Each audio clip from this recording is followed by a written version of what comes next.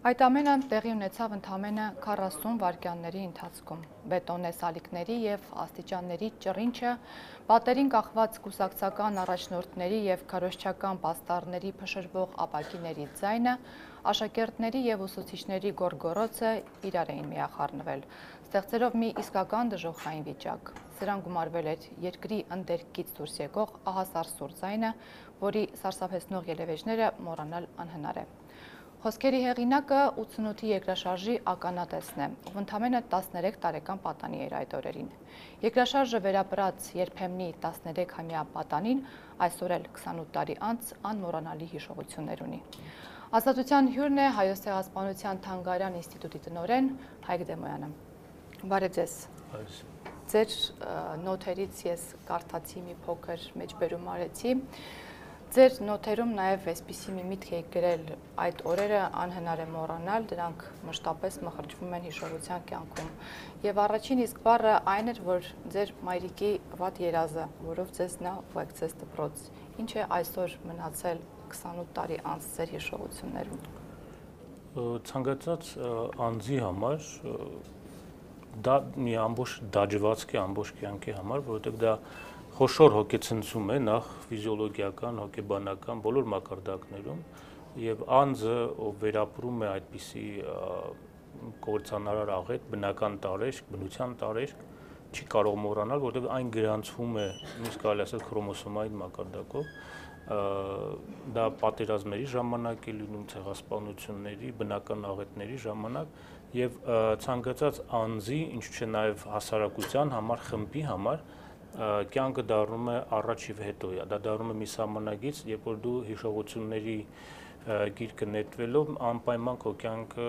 բաժանարար այդ գծով ես անցկացնում, այն ինչ կար մինչ այդ եւ դրանից հետո այդպես մենակ ես չեմ որ մտածում եմ եւ բազմաթիվ մարդիկ յումրեցիներ, սպիտակցիներ, վանաձորցիներ, ովքեր վերապրեցին այդ աղետը, անպայման իրենց կյանքը խոսելով իրենց հուշերին անդրադառնալով ինչ եւ հետոյի մասին են խոսում, այդ հիշողությունները չեմ չափազանցնի համարյա թե ամեն օր են գալիս։ Գալիս են պատառիկային դրվագների տեսքով, բայց ամենա մտահոգիչը, որ դա ոչ միայն մնում է որպես զուտ հիշողություն, որպես գրանցված վատ փորձառություն, ինձ մոտ այն parberabar թարմացվում է, երբ որ ես սարսափով նայում եմ այսօր ինչ է կատարվում եւ այսօր ինչու է մոռացվում 88-ի դասերը, սա լոկ գեղեցիկ խոսքեր չի, հռետորաբանություն չի, հուզականություն չի։ Այսօր մենք կարծես թե կրկնակի երակի ջանքերով փորձում ենք այդ հիշողությունը թաղել շուտ մոռանալու մեկ դրվագ կա, այնց համար անհասկանալի, մոռանանք անցնենք, այստեղ խոսքը մոռանալը չի, որտեվ նույն մոտեցումը հիշում եք կային եւ հնչեցում են թե ցեղասպանությունը հերիք եղավ բավ է եւ այլ եւ այլ դրանից մենք չենք փախչի որտեվ դա արձանագրված պատմություն է արձանագրված մարդու կողմից արձանագրված բնության կողմից մենք չենք ընդրում անցյալը եւ հիշողությունը բայց պարտադրված մոռացության այդ ձգտումը մոլուցքը ինչ որտեղ գալիս է նաև արտահայտելու այսօր անթակույց իրականացող ես բառը պետք է ճիշտ ընտրեմ հանցագործությունը մեր ապագա սերունդներ եթե ոչ այս ապրող սերունդի ապագա սերունդների հանդեպ այն ինչ որ կատարվում է այս խառնիչ աղանջ վայրակ չինարական տեմպերը որոնք ոչ մի կերպ չեն ուզում անդրադառնալ եւ իջնել թե ինչի միջով մենք անցանք այս սերունդը ապրող սերունդ է ոչ թե 26-ի երկրաշարժի մասին եմ ես խոսում եւ սա ինձ անընդհատ ուժգնացնում է այդ վախերը որոնք կապակցված են 88-ի հիշողությունների հետ։ Մենք կվերադառնանք դեռ մեր զրույցի ընթացքում այսօր ինչ է կատարվում թե Գյումրիում, թե Երևանում, թե շինարական առումով, թե ընդհանրապես սոցիալական առումով, բայց կխնդրեի սկզբի համար նաև մի փոքր անցյալին ակնար կանեինք։ Դուք ընդամենը 13 տարեկան եք եւ 13 տարեկան տղայի համար աշխատանքի ուսուցման ժամի, եթե չեմ սխալվում, զգացիք այդ ամենը հասկանում եմ ցավով, բայց եթե փորձենք հիշել ինչպես 13 տարեկան տղան կարողացավ այդ ամեն ինչը վերապրել։ Բավական ակտիվ դասարան էր, հիշում ենք, տարիքը 12-13 տարի, շատ ակտիվ էինք, չար կարելի ասել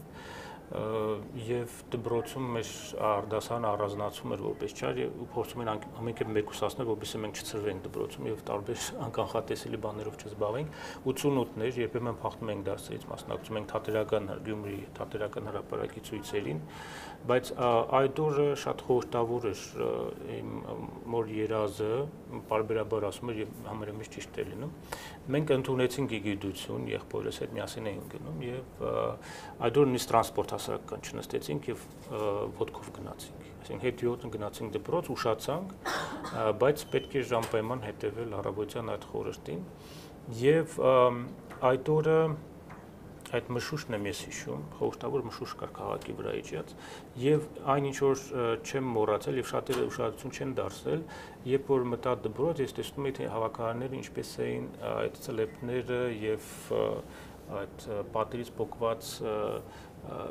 կտորները հավաքում։ ուշադրություն չդարձել դա ինչ էր, որովհետև թափվել էին առաստաղից։ Գիշերը եղել էր ցնցում եւ թերևս խոճապ չառաջացնելու համար կամ ուղակի կանխատեսման այդ բանը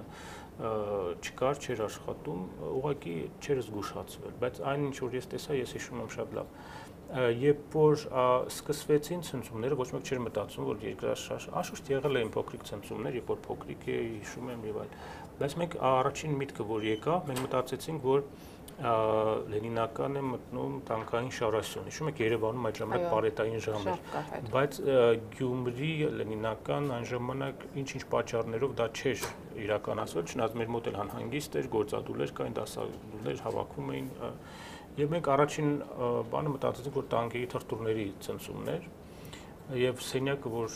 գտնվում է ավելի ուժ գնացավ այդ ձայնը որտեղ ամբողջ երկաթյա գործիքներ էին աշխատանքի ուսուցման սենյակում հաստոսներ եւ երկաթյա գործիքներ էին ճամբրուկների մեջ շարված երբ որ դրանք ամբողջ սկսեցին թափվել եւ զրնգալ իհարկե հիշում եմ ուսուցչի Իսկանդարյանի խոսքը գորած շաշկե փախեք այսինքն ավանդական բառ օգտագործվեց Եվ քանի որ ես իրեն մոտեցել էի խարտոցը փոխելու համար մուրջ էինք պատրաստում։ Դե ձերքում էր այդ ամբողջը։ Երբ որ դա ասեց, ես առաջինը հայացքս նետեցի եղբորս կողմ եւ գլխով ասեցի դուրս ենք փախնում եւ ոտքով եմ ուղղակի դուրը բացել եւ դուրս եկել, բայց հաջորդ այդ 40-30 վայրկյանները, որ պետք է ամենահեռու լսարանները մուտքից։ Գիտեք, սովետական դպրոցներում սարսափելի մի բան կար, որովհետեւ ապակիները խնային, առաջի հարկի ապակիները միշտ ճաղապատվում էին մետաղով եւ չկար էվակուացիոն պլան։ Բոլոր էվակուացիոն դռները փակ էին, զմրսված էին երկաթյա գամերով, որովհետեւ աշակերտները չփախչեին կամ դպրոց ֆիզկուլտուրայի ժամին գնդակով հարվածին ապակին չկոտրվի։ Եվ զոհերի մեծ մասը նաև այսօր չկար այդ անվտանգության զգացում։ Դու պետք է գնայր ընդհանրապես գլխավոր մուտքից դուրս գալու համար եւ այդ 40 վայրկյանի վասկը ես հիշում եմ վարկյան առ վարկյան հավասարակշռություն պաշտպանելը, դիմացի մարդու վայրընկնելը, ուսուցիչը դուրս է գալիս դասանից նորից հետ է շպրտում, որտեղ շենքը մոտ 30-40 աշճանի տակ տարբեր ուղություններով սկսում էր պատտվել, աջ, ձախ, ներքև, վերև, եւ մի պահ ես հայտնվեցի օթում։ Ես հիշում եմ օթում հայտնվելու ամենչապես ինձ ծեփեց ուղղակի դիմացի պատին այդտեղ վնասված գտածա, որտեղ մուջ իմ ձեռքում էր դա։ Վերջում հայտնաբերեցի տուն հասնելուց երբ որ դուրս եկանք, կարող եք պատկերացնել ամենաաբսուրդը, ես հիշում եմ դպրոցի տնօրենին ամբողջովին սպիտակ այդ փոշուց եւ նա ասեց, որ պետք է վերադառնալ դասի։ Այդ պահին ես դիմացի շենքում տեսա մեկը գոռում էր օգնություն եւ հետո տեսա, որ շենքը չկա ուղղակի։ Անուտը փոշու ամբը, չհասկացանք ինչ կատարվեց, Հետո նոր արդեն դեպի փողոց անցնելուց դբրոցը մի փոքր ներս էր, հիմնական խճուղոց, տեսանք արդեն փլատակներ, որը նորից առաջին հայացքով չես ընկալում, որ այդտեղ պետք է շենք լիներ, անհետև վերածվել է փոշու եւ փլատակների կույտի։ Տակամ արդեն ես արձանագրել եմ, դա եթե կարճ ասենք, զգում ես մահը կոմա շատ մոտ եւ տեսնում ես ուրիշի մահը քեզ շատ մոտ, որ փորձառություն այդ տարիքի համար իհարկե շատ մեծ հոգեցնցում է բոլորի համար դա այդպես է եղել։ Երկրորդ ցնցումը արդեն տեղ ունեցավ ռոպեներ անց, արդեն փողոցում ենք եւ ես նկատեցի, որ դբրոցի անկյունային հատվածը, որտեղ գտնվում ենք, փլուզվեց հենց երկրորդի ժամանակ, ճիշտ այդ լսարանն է, որտեղ մենք Ձեր պայուսակը ես նկարծացի 2 ամիս հետո նոր գտնվել է փլատակների։ Եկա Երևան, Արտոսի դպրոցում շարունակեցինք սովորել եւ մի քանի տղաներով մեր համադասարանցիները որոշեցինք ռիսկի դիմել, որովհետեւ նաեւ շորերն էին կախ աշխատանքի ուսուցման ժամանակ փոխել էինք շապիկները, գոգնոսները ենք արկել եւ պայուսակը եւ մեր հակուստը, համազգեստը դպրոցական մտանք Իսավեր դպրոցում, իհարկե հիմա դատարկ տեղ է ցավոք սրտի, մտով ենք վերականգնում ամբողջ լսարանները, հարկերը եւ այլն, չկա դպրոց, որ գնալ կարելի գնալ եւ տեսնել։ Եվ այդ հիշողության հետ մեկտեղ չկա այն լանդշաֆտը, փոխված է այն լանդշաֆտը, որը քո համար ընկալելի էր, հասկանալի էր, շենքերի դատարկությունը, դպրոցի դատարկությունը, որոնք հիշողությունների հետ միանալով իհարկե ցավ են պատճառում։ Ձեր նոթերը ընթերցելիս ես հասկացա, որ դուք նաև ձեր հարազատների կորստի ցավն եք ունեցել, ձեր զար, զար, բարեկամներից մեկ մի քանիսի մասին եք նշել, ձեր բակի տղաների պլատակների տակ մնալու հանգամանքն էլ այ կպատմեք այդ մասին եւ եթե կարելի է այսպիսի մի հարցեր էլի թվում է որ այսպիսի սերունդը որ ամեն ինչ այսպիսի ցավ վերապրեց երկու ճանապարհ կամ պիտի լրիվ կոտրվի ու չկարողանա ոչինչ փոխել երկրում կամ հակառակը պետք է գոտեպնդվի ու փորձի փոխել աշխարհը դեպի լավը հիմա դուք փաստորեն արդեն այն 13 տարեկան տղան չեք եւ ձեր նման վերապրածներ այսօր կարողացան անել այն ինչ որ ցանկանում էին գոնե այդպես ասենք։ Եկաշարժը մեր սերունդի համար մեկ խոշոր ցնցումներից մեկն էր պատերազմի խսմփլուզման սոցիալական այն ծանր տարիների էլեկտրոէներգիայի հոսանքի բացակայության պատկերացեք 92 թվական դրվագ Գյումրի, երբ որ պլատակները դեռ կան, չեն մակրվել 30 աշճան ցուրտ է եւ պետք է դուրս գալ կտրել հանդիպակաց ծառ, որպիսի տակածվի։ Եվ այդ ժամանակ Արցախից բերում են քաղաքի զոհված երիտասարդության դիակներ։ Ու պատկերացեք դա ինչ հոգեբանական մեծ պրեսինգ է ցանկացած մեկի համար, որ դեպքում չկա հույս, նույնիսկ նշուլ, որ ամեն ինչ արագ կփոփոխվի, բայց սերունդը չի կոտրվել, բայց լավատես լինելու հիմքեր նույնպես չկան, որովհետև այսօրվա Գյումրին բավական ընկճված է հոգեբանորեն ընկճված է անուշադրությունից երրորդ սերունդն է որ ապրում է դեռ տնակներում եւ դա արդեն երրորդ հիվանդ սերունդն է որովհետեւ 30 աշճան ցրտի եւ տակության պայմաններում առողջ սերունդ ունենալ հնարավոր չի այդ պայմաններում Գյումրին դիտարկվում է ոչ յուրային ցավոք սրտի։ Այն դեպքում, երբ որ Գյումրին խիստ անհրաժեշտ էր, որպեսզի նա միշտ հակոտնյալ լիներ առողջ առումով, միշտ այդպիսի մրցակցող քաղաք է պետք ցանկացած երկրի համար, որտեղ այդ մրցակցության արդյունքում առողջանում է երկիրը բայց այսօր հետին պլանում հայտնված քաղաքի տպավորությունը թողնում, որի վրա թողնում է վատ հետևանքներ սոցիալականը, երիտասարդության անորոշությունը, հանցագործության աճ։ Անդադ հետևում ենք այդ լրահոսը հանցագործությունը։ Շիրակի մարզը այսօր ամենաաղքատ մարզն է։ Աղքատ եւ արտագաղթի տեմպերը գործազրկության հետևանքով գործազրկության հետևանքով ճիշտ է կար այդ ավանդույթը խորհրդային տարիներին բայց այսօր Ռուսաստանի ցանկացած անկյունում կարելի է տեսնել գյումրեցիների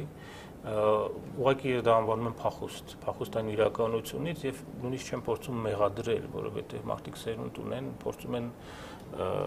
ինչ որ կերպ կյանքը դասավորել։ Այն պայմանները, որ կա այսօր Գյումրիում, չի տալիս այդ հնարավորությունը։ Տեսեք, երբ որ մենք խոսում ենք աշխարհում տեղի ունենում այսպիսի երևույթներ այլ երկրների մասով միշտ ասում են պետք չի համեմատել բայց երբ որ անցնում է 28 տարի եւ դեռ դու շարունակում ես ասել աղետի գոտի դա արդյոք ինքնին նորմալ երևույթ է դա չի խոսում որ ինչ որտեղ նաեւ մեր իշխանություններն են բարձի թողի վիճակում թողել այսօրվա աղետի գոտի աղետի գոտի հասկացությունը ես ավելի շատ կտանեի դեպի հոգեբանական սոցիալական աղետի գոտի է դա արես դա երկրաշարժի աղետի գոտի չի, այդքան դրա հետևանքների մեծ մասը այո հետևանքները վերացված են որպես այդպեսին, բայց դրա շարունակությունը դարձել է հոգեբանական սոցիալական աղետը, որ այսօր կա եւ չեմ տեսնում որևէ հերանեկար, որ դա արագ արագ հետևանքները կվերացվի։ Պետք է նաև հնչեցնեմ մի բան, որ ամեն ինչ դարձել է մայրաքաղաքակենտրոն։ Այստեղ է կարծես ամեն ինչ այս ներդրումները եւ այլն եւ այլն Գյումրիում ներդրումները հենց այնպես չէ որ պետք է լինեն։ Գյումրին քաղաք է, որ ունի իր հատուկ նիստուկացը եւ մենթալիտետը, մտածելակերպը։ Այն ինքը արտադրող, ստեղծող, արարող բնակչություն է, բայց հոգեբանորեն այդ մոտեցումը իհարկե ընկճվածություն է առաջացնում եւ տեսեք շատ անգամ մարդիկ շատ անառոր ձևով են փորձում իրենց այդ հակազդեցությունը մայրաքաղաքին ի վերջո կա այդ ինքնությունը երկրորդ քաղաքի եւ հայրաքաղաքի բայց այսօր դա ավելի ատելության ձևով է դրսևորվում որովհետեւ գալով այստեղ տեսնում են ցոփ ու շվայտ կյանքը եւ մարդիկ ովքեր մի մեծ խնդրեմ ունեն թե ինչպես ծախսեն գումար հա եւ ոչ այս երկրում ծախսեն գումար կարելի այդ ներդրումները անել նաև Հայաստանի ծայրագավառներում այլ քաղաքներում դեպի դեպքում Գյումրին, Վանաձորը դրանք տուրիստական ենթակառույցներ ստեղծելու մեջ կարելի անել հյուրանոցային եւ այլ եւ այլ։ Բազմաթիվ ծրագրեր կարելի իրականացնել փոխարենը անշարժգույք արտասահմանում գնելու փոխարեն, հա։ Այ տեսեք, ես նայում եմ մեր նոր կառավարության ծրագիր, ընդհանրապես մի նախադասություն տեսա, երկրաշարժի հետևանքով աղետի գոտում անօթևան մնացած ընտանիքների բնակարանային ապահովման պետական աջակցության ծրագրի շարունակական իրականացում 17 թվականի Գյումրի քաղաքում ծրագրի ավարտ։ Ընդհանրապես այսքանը մեր նոր կառավարության ծրագրում ներառված է Գյումրիի մասով եւ չէ կարծում որ իրականում պետք է լինի հենց քաղաքական որոշում Գյումրին այսպես ոդքի կանգնացնելու համար այսինքն մենք միշտ ձեր ասած երկրորդ երրորդ, չգիտեմ, որերորդ տեղ ենք տալիս մարզերը, բայց եթե չկա ի վերջո չստեղծվի այդ քաղաքական որոշումը մարզերին կյանք տալ, վերակենդանացնել, մարզերը այսպես կդատարկվեն եւ կմեռնեն։ Գյումրին Լենինականը ինքը համարվել է իր ինքնությունը, ինչը որ եղել է առաջին խոշոր քաղաքը այս տարածքում մինչև 40-ական թվական, այո, ինքը ավտոնոմ ապրող քաղաք է, այսինքն ինքը կախված չի որևէ մեկ մենտալ առումով էս նկատում, հոգեբանական։ Ինքը կարիքը չունի որևէ աջակցության, որովհետև եղել է խոշոր տեքստիլ կենտրոն, խոշոր գործարանային կենտրոն է եղել, եւ մնացած դրսևորները, արհեստներ, արվեստներ, սպորտ եւ այլ եւ այլ։ Ֆիլմ արտադրություն է մի ամբողջ այնտեղ, որ ֆիլմերի մեծ։ Սա պետք է օգտագործել, պետք է հասկանալ հոգեբան հոգեբանությունը տեղի բնակչության։ Հոգեբանությունը հասկանալով կարելի հասկանալ, որ ավտոնոմ ինքը կարող է ապրել, ստեղծագործել եւ արարել։ Ուղղակի պետք է այդ ներդրումները ճիշտ անել։ Որևէ դոտացիայի կամ բանի բան չունի գյումրեցին, ճիշտ է, երկաշարժը թողեց նաև շատ վատ հետևանք, երբ որ մարդիկ սովորեցին օգնություն կոչվածին, նա կարելի է չաշխատել եւ օգնություն ստանալ, բայց կարծում եմ, որ դա չի գլխավորը հիմա։ Գյումրին օտարված մարմին չպետք է լինի։ Դա Հայաստանի Հանրապետության կարևորագույն քաղաքներից մեկն է եւ չպետք է քաղաքին նայել որպես հին կլիշեով ռայոն կամ գավակ Գյումրին դա չի ընդունում։ Գյումրին ունի ինքնությունը, քաղաքը եւ ասում են, որ ինքնուր ինքնաբավ եւ ինքնուրույն է միշտ եւ Այ դուք խոսեցիք, որ այստեղ ավելի հոգեբանական աղետի մասին խոսեցիք։ Ես առաջարկում եմ այս բանը մենք դիտենք, թե ինչ են ասել հենց գյումրեցիները իմ Գյումրիի գործընկեր Սաթենիկ Ղազանցյանի հետ զրույցում։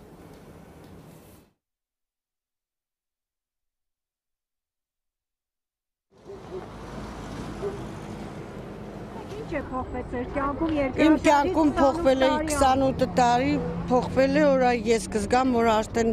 ես լավ կզգամ, որ գիտեմ, որ քաղաքը սկառուցվել է ու ես լավ կզգամ, որ փողոցով կքայլեմ, ամեն ինչը մաքուր եւ հաճելի։ Տնագում եք ապրում։ Ես տնագում էի, տեղափոխվել եմ Մանգապարտեզում եմ ապրում։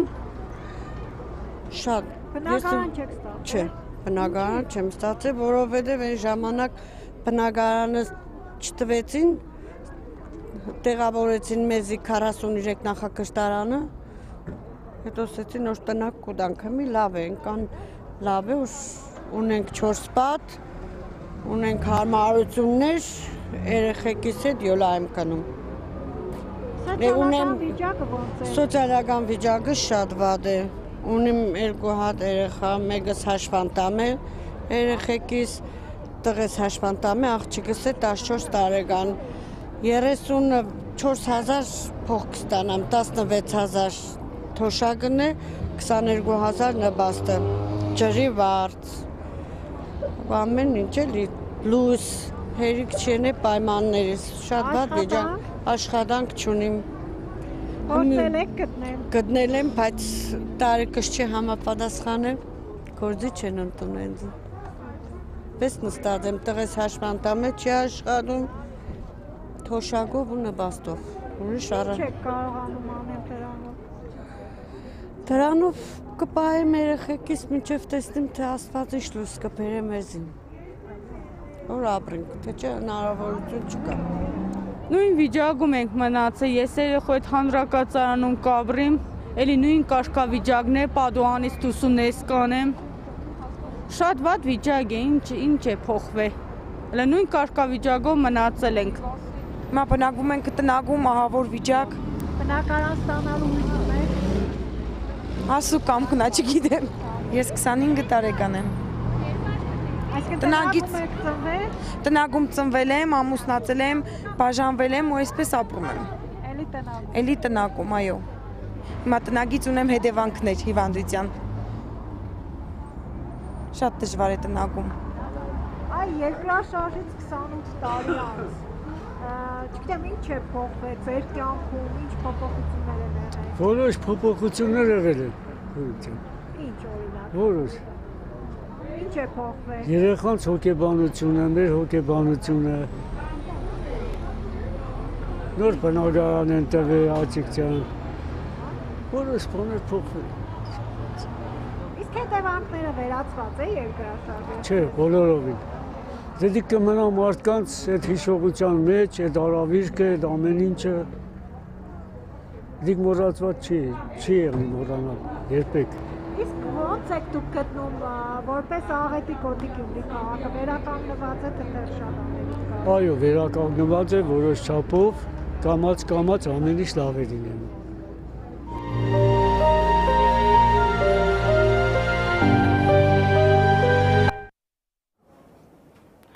Վերադառնանք ստուդիա, մենք զրուցում ենք Հայկ Դեմոյանի հետ, այ դուք որպես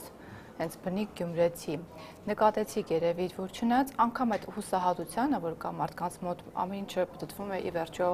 տնակներում ապրելու սոցիալական վատ վիճակի, առողջության վատ վիճակի մասին, կա մի տեսակ լավատեսություն։ Դուք ինքներդ տեսնում եք, որ այ հիմա գյումրեցիներին այ հենց այդ լավատեսությունն է օգնել, որ կարողացել են դեռ ինչ որ կերպ թեկուզ իրենց քաղաքը շենացնել։ Լինելով գյումրեցի, ես ու- ուրիշ հոգեբանական ֆենոմենի մասին պետք է խոսեմ, որովհետև լավատեսությունը շատ բնորոշ է բոլորին, մարդիկ միշտ լավատես են, այլապես չեն ապրում։ Դե գույմրեցիների հումորը միշտ ասում է փրկում է իրենց։ Հումորից բացի կա հոգեբանական այդ ծանր եւ հիմնարար կոդը երբ որ չպետք է կոտրվել, պայքարել, մրցակցել։ Գյումրի ներսում ինքը մրցակցող քաղաք է։ Ուստա կոչվելը ինչու պետք է ձգտել այդ ուստա կոչվելին։ Եվ մրցակցությունը միշտ եղել է առողջ, ասենք հարևանը հարևանի հետ, բարեկամների, այլ այդ մրցակցությունը, որ հղկել է լավ արեստավոր լինելու, լավ սպորտսմեն լինելու, լավ մասնագետ լինելու, գիտնական լինելու, գրող լինելու եւ այլ։ Այդ ներքին մրցակցությունը միշտ պահում է Գյումրիի ոգին դրսից մի փոքր անհասկանալի կա, պետք է ուղղակի ապրել այդ միջավայրում, որպեսզի հասկանա թե ինչ է այդ ներքին մրցակցությունը, որը հղկում ուժեղացնում է մարդկանց։ Եվ կարծում եմ, որ եթե չլիներ այդ ոգին, իհարկե կկոտրվեր այդ մեծ արավիրքը կկոտրեր բնակչությանը եւ մենք այսօր չենք ունենա Գյումրին։ Ճիշտ է, մեծ հոգեբանական հարվածը, մեծ արդակախտ է տեղ ունեցել, բայց գոնե առանցքը մնացել է։ Այս առանցքը պետք է կարել, պետք է պայել, պայ, պայել։ Ա, Ես երբեմն երբեմն երբ որ այցելում եմ հարազատներին, բարեկամներին տարբեր առիթներով միշտ ակտիվ հարցուփորձ եմ անում, որպեսզի հասկանամ ինչ է կատարվում քաղաքում, զարգերակը գոնե շոշափեմ։ Վերջերս մի պատմություն լսեցի վարորդներից, որը մի կողմից եւ հումոր էր Գյումրի, մի կողմից եւ սարսափելի իրականության արձանագրում։ Այսինքն երկուսը մեկտեղված եւ շապակ շահկապված էին, երբ որ երիտասարդության մասին հարցրեցի, ինչով է զբաղվում երիտասարդությունը, իհարկե պեսիմիստորեն վարորդը Գյումրի բարբարով պետք է ասեմ, որ ճիշտ հնչի եւ հասկացվի, ասեց՝ «Է Դեմոյան ջան, ասեց, ջահելություն ուրա չի մնացել, ում հերես խոդի կնգնի»։ Գիտեք ինչ նկատի ուներ։ թմրամոլության տարածում է երիտասարդության շրջանում, ովքեր էժան թմրամ գումար չունենալով սրսկում են բենզին։ Հասկանում եք, ասում է հումորի ձևով կարելի կարծես թե պետք է ծիծաղել, բայց դա մեծագույն ողբերգությունն է, որ այսօր չի ասում, չի խոսում դրամ չլինի բարակում եւ դա շատ կարճ է տևում 1 տարի 1.5 տարի ընթացքում մարդը մահանում է եւ դա երիտասարդության շրջանում ցավոք սրտի տարածվում է ինչու այդ մասին չի խոսվում Այ ես էլ ինքս առաջին անգամ ձեզնից դա լսեցի։ Սա բանաձևում տվեց Գյումրվա բանի ձևով, հա, կիսա հումորի, կիսա ողբերգականության, հա։ Սա ձեր ասածը երևի հոգեբանական ընկճախտի նաև հետևանքն է, Սա պետք է փորձել կանխել։ Երիտասարդությանը պետք է տալ հնարավորություն, այո, թումոն լավ է, կարելի է ընդարձակել ծրագրեր, կալ ուրախ ենք դրա համար, բայց պետք է ավելին անել, տեսեք նույն այդ սպորտային բազաները տեսանք ինչպեսի վիճակում։ Տեսանք օլիմպիական չեմպիոնը մեր որտեղ էր Պարաբովի վերջում։ Բայց ել եմ ասում, ոչ մեկ չի ընկրկվում, ընկրկում ասում, ա տեսեք, այսպեսի վիճակում արդի գնացին եւ արցունք նորից ցուցադրեցին, հա դա գալիս է ներքին ոգու այդ շարժիչ ուժն որ կա եւ սերունդ է սերունդ փոխանցում է այդ ոգին չպետք է կոտրվի բայց այս սերունդը նաեւ ձեր ասած սովորում է այդ վատ պայմաններին սովորում է ապրել այդ տնակներում եւ մենք զրույց էինք ունեցել Շիրակի կենտրոնի ղեկավար Վահան Թոմասյանի հետ նա եւս մեզ ասաց որ դեռ 3000 մարդ շարունակում է ապրել տնակներում սա իրոք ահավոր ցուցանիշ է դե հաշվի առնենք որ քանի սերունդ է մեծացել այդ տնակներում եւ շատ կոնկրետ մարդը ասաց որ ժամանակին կոռուպցիոն գործընթացներ են տեղի ունեցել դրա համար։ Եվ կամ ընդհանուր են, ինչ ենք ասում անցյալով, դա կա անբաժանելի մասն է ցավոք սրտի, բայց ամենա սարսափելինից մեկն որ մարդիկ կորցրել իրենց դիմագիծը չեն հետևում իրենց առողջությանը, ապագայի տեսլականը չկա, ընկճված են, ներքաշված են իրենց այդ փոքրիկ աշխարհի մեջ։ Քաղաքացին այդ արժանապատիվ գյումրեցին կորցրել է իր դիմագիծը, մարդիկ վայրենացել են ինչ-որ առումով։ Դրա հետևանքները նշեցի ես այդ կրիմինալն է։ Այո, ընտանիքներ են քայքայվում, այ 25 տարեկան ամուսնացել է։ Սոցիալականներն է վստահ պատճառը եղել, որտեղ տնակում հնարավոր չի ընտանիք։ Դե որովհետև այդ տնակում հնարավոր չի եւ իրոք հոգեբանական ուժեղ ստրես ապրած, նաեւ մեծանում են մարդիկ արդեն երկրաշարժ չտեսած սերունդ, այսօր մեծ մեծանում է երկրաշարժի այդ գենետիկ հիշողությունը բարձ է որ պետք է մնա, բայց նաև այդ պայմանները չի փոխվել երկրաշարժից հետո։ Մյուս ակնհայտ մի երևույթ կա նույնպես սարսափելի, որը ոչ միայն Գյումրին է հատուկ, բայց էլ շատ տարածված է, երբ որ տղամարդիկ գտնվում են արտադրական աշխատանքի, իսկ ամբողջ ընտանիքի բեռը ընկնում է կնոջ մոր վրա եւ դա տևում է 5-10 տարի երեխաներ են մեծանում, բայց ստացվում որ երկրորդ ընտանիք է այնտեղ կազմվել եւ այս այսպիսի պատմություններ բազմաթիվ դուք կարող եք գտնել միգրացիոն պատմություն։ Այդ էս ես հիշում եմ, որ 40 տարի երբ որ անցել էր երկրաշարժի 25-րդ տարելիցի կապակցությամբ Հայաստանի նախագահներից եւ ոչ ոք չէր այցելել Գյումրի։ Այսօր ես դեռ չգիտեմ, գիտենք որ վարչապետներ այսօր այցելել Գյումրի, դուք այստեղ էլ չեք տեսնում խնդիր, որ այո, այն ինչի մասին մենք խոսում ենք, եւս ոնց որ եկանք դրան այն տարբերությունը Իրեք ես ուրիշ անկյունից կփորձեմ այդ հարցին անդրադառնալ։ Ես կարծում եմ, որ աղետի նման գոտի կամ արդեն մնացորդներով կամ սոցիալական ծանր աղետի գոտի ունենալով գոնե դեկտեմբերի առաջի շաբաթը կառավարությունը պետք է նիստ անցկացնի այնտեղ եւ Շիրակի մարզում, Լոռու մարզում որպես աղետի գոտուց դեռևս հետևանքներ մնացած հարցեր լուծելու շատ կարևոր մի ազդանշան եւ նաեւ ինչու՞ չէ նաեւ հոգեբանական աջակցություն բնակչությանը։ Գիտեք, արողակարգային այցերը, զուտ արողակարգային այցեր են, հա, ժապավեն ուղել, ծաղկեպսակ դնել։ Այո, հարգանքի նշան է, բայց ես կարծում եմ, որ լավ կլիներ, որ 1-2 օր կառավարության ամբողջ անձնակազմը լիներ Շիրակի մարզում կամ Վանաձորում եւ այնտեղ հրատապ հարցեր լուծեին տեղում գոնե մեկ քանի օրվա ընթացքում այս կասկանայի որպես պրակտիկ աշխատանք այն խոսակցությունները այս կամ այն նախարարությունը Գյումրի տեղափոխելու եւ այլ եւ այլն միգուցե դա մի մասն է այն ինչ որ ես ասել եմ կամ ասեցի հնչեցրեցի բայց ես չեմ կարծում որ դա իրատեսական կլինի։ Եվ հետո դեռ խոսակցություններ են համեն դեպս գործոն ինչ որ մի բան մենք դեռ չտեսանք որ իրականում։ Այո, ես կարծում եմ որ գոնե տարեկան այդ երկու մարզերը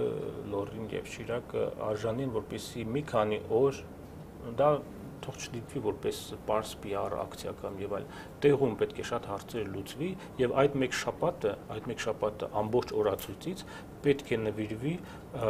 դերևս արկա աղետի գոտու հիմնական եւ հիմնարար հարցերը լուծելու որոնք բավականին շատ են եւ դուք երրորդ ծերնդի մասին խոսեցիք այսօր արդեն երեխաներն են խոսում տնակային պայմաններում մեծացած դեռ նրանք փոքր են 7-8 տարեկան բայց արդեն իրենց տպավորություններն են մեզ հետ կիսել առաջարկում եմ լսենք ինչ են ասում երեխաները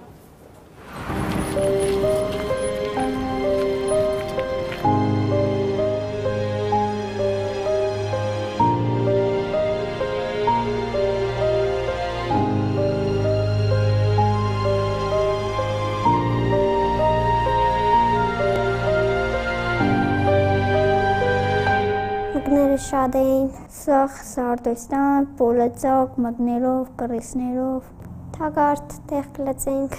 մեկ լավ էր, մեկ վատ։ Դոմիկը չկար հեչ մի հարմարություն, կոմունալ հարմարություն չկար, տան էր վաբշե դուր չկար, դասես կպերինք։ Մեկ կոմից ծուրդ էր, մեկ կոմից է, արդեշ կտերինք տակ էր։ Վաղտ կար վարելիք չունեինք, կալոս վարել, այդպես։ Պեշ կվարենք ամեն օր կարտոլ բայց ըմել շատ լավ է շենքը։ Թազատունը ամեն ինչ կա կոմունալ հարմարություն, շատ տակ է։ Կոնյա բահով են որ տարածքը կվերահսկվի։ Հա, մի տնուն ունենք։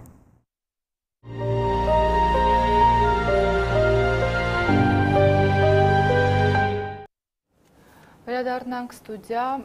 երեխաներն էին խոսում իրենց պայմանների մասին, բնականաբար նրանք արդեն իրենց մայրիկների, տատիկների հիշողություններով են կարողանում տեսնել, հա, այն օրերը ինչի միջով անցավ մի ամբողջ ժողովուրդ։ Վերջերս ֆիլմ նկարահանվեց երկրաշարժեց անունով, որը բավականին այսպես քննարկումների առարկա դարձավ դուք տեսել եք այդ ֆիլմը եւ արդյոք դա այն էմոցիաներն էր, որոնք որ դուք վերապրեցիք այն ժամանակ եւ որոնք որ ձեզ ստիպեցին վերապրել այս ֆիլմով։ Մեր երկրաշարժն է դա ի վերջո։ Ես պետք է խոստովանեմ, որ ֆիլմը ամբողջությամբ չեմ տեսել, որpիսի հետագա իմ մտքերը པարզ լինեն, ես տեսել եմ հատվածաբար, բայց լինելով գիտական շրջանակի մարդ, միշտ հարցադրումներ պետք է դնել։ Ինչու է նկարահանվում, որն է խնդիրը, որն է ուղերձը, մեթոդոլոգիան եւ ինչ նպատակ ունես չէ ցանկացած գործողություն մանավանդ եթե այնտեղ մեծ գումար է ներդրվում ուրեմն պատահական բաներ չեն կողմ բացի արվեստի գործից այնտեղ ավելին է քան արվեստի եւ նկարահանվում է ռուսաստանի այսպես ասենք նախաձեռնությամբ դա էլ իստիմա պակաս կարևոր գործոն չի ես փորձեցի ուրիշ անկյունից։ Ես ծանոթացել եմ կինոքննադատներին, եղել են ծայրահեղ, վատ, հուզական, հայախառն կինոքննադատություն, տեքստեր, ծանոթացել եմ նաև օբյեկտիվ չեզոք կարծիքներին, օրինակ մի քանի օր առաջ կարդացի Օլգա Շարվուտի։ Ես էլ եմ կար BBC-ի կարծիքը, այո, բավական բալանսավորված էր, բայց հիմա փորձենք սցենարի հասկանանք սցենարը ինչ էր, ինչ ուղերձ էր։ Նախ տեղի ունենում մի իզոլացված, առանձնացված պատմություն, որը փորձում է ադապտացնել տեղ ունեցած ողբերգության, որտեղ ստորադասում է հիմնական այդ ողբերգության, կոպիտ ասած լսարանը, ովքեր են այդ ողբերգությունը վերապրողները, հա, տեղաբնակները հայտնվել են երկրորդ պլանում։ Եվ հետո այնտեղ նեգատիվ շատ Ես փորձեցի հասկանալ, թե ինչու այդպիսի սցենար, որովհետեւ դա հասկանամ, այլ մեթոդոլոգիա փորձեցի ընտրել, փորձեցի հետևել թե ինչ են կինոպատրաստողները ասում կինո նկարման այդ ստուդիաներից կամ դաշտից դուրս իրենց հարցազրույցներում ինչ ձևակերպումներ, ինչ ուղերձներ են տալիս։ Եվ ես հասկացա, որ այստեղ բոլորովին այլ նպատակներ է թերևս կային, որովհետև շատ ընդունված է հատկապես Հայաստանը լքած անձին կամ Հայաստանից դուրս գտնող մարդիկ տրվում են ինչ որ համահավասարեցման, չեմ ասում օտարամոլության, համահավասարեցման Հայաստանը չառանձնացնելու եւ չբարձրացնելու այդպիսի հակումներ կա եւ ցավալի մի փոքր երբ որ Դիրդիշյանի հարցազրույցն է լսում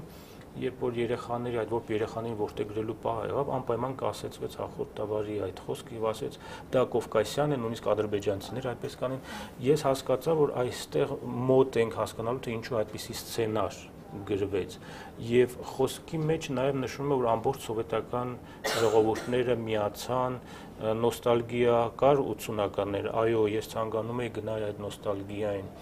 այսինքն դեպի ԽՍՀՄ-ի հետ խորհրդային նոստալգիան համեմված էր նաև ինչ որ ուղերձներով եւ մեսեջներով եթե անգամ եղել է սպանության դեպք միգուցե եղել է 1-2 դեպք դա դնել գլխավոր կենտրոնական իրադարձություն ֆիլմի մեջ թեկուս շոկա շոկային էֆեկտը արվեստում ընդունված ապահովելու համար դա գտնում եմ որ շատ վատ քայլ է եղել ես չեմ ուզում ավելի վատ ենթադրություններ անել Գյումրին դերևս Պերմյակովի նախճիրից հետո չի մոռացել դա եւ չի էլ մոռանա բայց չեմ ուզում ենթադրել, որ այդպիսի տրյուկները այդպիսի ֆիլմի մեջով կոչված են ուղակի լղոզելու եւ ծածկե ծածկադմփոց անելու հենց այդ դրվագ։ Սա ենթադրություններ են։ Ես կինոքննադատ չեմ, բայց պատարիկային այդ մեսիջները օգնության գալու ամենակարևոր մեսիջը չկար ֆիլմում։ Երկրաշարժը միակ դեպքն էր համաշխարհային պատմության մեջ, որ ամբողջ աշխարհը միավորեց, ոչ թե խորհրդային միությունը, այլ ամբողջ աշխարհը։ Եվ մենք ցավոք սրտի չենք կարողացել չենք կարողացել մինչ օրս հավուր պատշաճի ցույց տալ, դա լինի թանգարանային ցուցադրության կամ ինչ որ հուշարձանի ձևով, երբ որ հենց այդտեղ, հենց Հայաստանի հյուսիսի տեղ ունեցած տարերային աղետի հետևանքով ամբողջ աշխարհը մոռացավ սահմանները։ Հիշեք, որ ՆԱՏՕ-ի օտանավերը առաջին անգամ հատեցին սահմանը եւ օգնություն եկավ, ահռելի քանակությամբ օգնություն եւ հումանիտար ամբողջ պատմությունը տակավին դեռ արձանագրված չէ եւ չի ներկայացում։ Այնինչ դա մենք կարող ենք ցույց տանք, որ հենց Հայաստանի պատճառով, հենց Հայաստանի պատճառով երկրորդ անգամ ցեղասպանությունից հետո նույնպես եղավ համաշխարհային արձագանք դա մենք ներկայացնում ենք թանգարանում, դա ներկայացնում ենք ցուցադրությունների տեսքով գրականության, բայց երկրաշարժը միայն սկալու պատմություն չի։ Մենք պետք է ցույց տանք, որ այստեղ էր, որ ամբողջ աշխարհը միացավ, այստեղ էր, որ եկան առաջին դեպքեր, դեմքեր տեսեք Բուշին դանիքից եկան վարչապետը եկավ Անգլիային քաղաքական մշակութային ամբողջ դաշտում այդ երկու 10 օրը ամբողջ աշխարհը ապրում էր Հայաստանով լուրերը սկսում են այդպես դեռ դեր առաջին էջերին ես ինքս հավաքում եմ ամբողջ այդ նյութը եւ բոլոր տեսակի նյութ ինչ որ երկրաշարժին վերաբերում է միգուցե մի գեղեցիկ որ մենք կարող ենք եւ շնորհակալություն հայտնել աշխարհին բոլոր այդ ու նաեւ նախկին խորհրդային հանրապետությունին, բայց այստեղ միգուցե ես սխալվում եմ, թող այդպես լինի, բայց ես տեսա շատ նեղ խնդիր այս երկրաշարժ ֆիլմը ոչ թե ցույց տալ մարդկային ողբերգությունը, տեղի բնակչության հերոսությունը, այլ ցույց տալ մեկ այլ միջանցիկ միջանկյալ պատմություն, որը չի հատում ընդհանուր ողբերգության հետ։ Եվ ավարտելով մեր զրույցը, պարոն Դեման, կխնդրեի այսպիսի մի հարց հարցին պատասխանեիք արդյոք ի վերջո մենք կարողացանք դաս քաղել այդ ամենից եւ այն ինչ որ մենք հիմա անում ենք սկսած մեր շինարարական այսպես ասենք հա բիզնեսից մինչեւ մնացած այլ խնդիրներ այդ դասը քաղվեց երկրաշարժից Եթե դուք նայեք հայտարարություններ բնակարանների վաճառքի, մի սարսափելի տող երբեմն երբեմն կարտակ, որ վաճառվում է բնակարան այսինչ շենքի 5-րդ հարկում մեկ հարկ ավելացնելու հեռանկարով։ Ինչը դա նշանակում։ Դա նշանակում է սեփական ընտանիքին դատապարտել, ոչ միայն սեփական ընտանիքին, այլ 4 հարկ ներքև ապրողներին դատապարտվում է։ Այսօր Երևանում տեղ ունեցող այս այլանդակ գործընթացը հարկեր ավելացնում 1 2 3 նույնիսկ պատշգամբով խորովանոցը Այո, մենք ունենք բնակ ֆոնդ, որը վտանգված է ոչ միայն նրանով, որ ֆիզիկապես եւ բարոյապես մաշված է, բարձրահարկերը բոլոր կառուցվել են հիշենք 30-ից 45 տարի առաջ։ Դրանք ուղակի պետք է ապամոնտաժվեն եւ դրանց տեղում վատ շինանյութով, ինչպես կառուցվեն նորերը կամ պետք է հարկերը կրճատվեն մի ամբողջ ծրագիր մշակվի նորովի դրանք ամրացնելու, ամրակայելու եւ նորից վերաբնակեցնելու համար։ Սա գերագույն գերագույն անվտանգության խնդիր է, որովհետև բնությունը ունի իր հաշվիչը, նա չի նայում մարդկային գործոնին եւ այն ինչ որ տեղում են տեղում հանգարցակի։ Ձեր պատասխանից հասկացա, որ մենք այդպես էլ դասեր չկաղեցինք։ Եվ եթե հետ գրություն կուզեք, իմ papa ծնվել ծնվել էր 1924 թվականին 26 թվականին ներողություն 26 թվականին ծնվել էր եւ 6 ամսական էր երբ որ առաջի երկրաշարժն էր եղել եւ անցկացել էր դրսում օրեր նույն իմ այդ պապը վերապրեց 88-ի երկրաշարժ։ Ուրեմն մեկ սերունդի ընթացքում երկու երկրաշարժնա տեսավ։ Հասկանում եք, երկու տարի հետո 30 30 տարին է լրանոր, այսինքն ճիշտ հատում ենք հասարակածը, ճիշտ կես այդ ընթացքը զուտ մաթեմատիկական, եթե ասենք, ապա մենք ինչպես ենք պատրաստվելու հաջորդին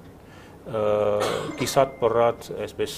զորավարժությունների անվան տակ չանհասկանալ ինչ որ բաներ անելով, դա այդպես չի։